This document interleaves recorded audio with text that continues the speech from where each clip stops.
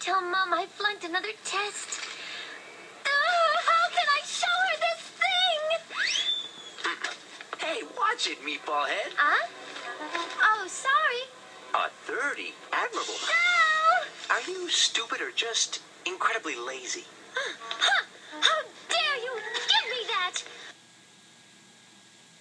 Huh, The nerve of that guy! What a total jerk calling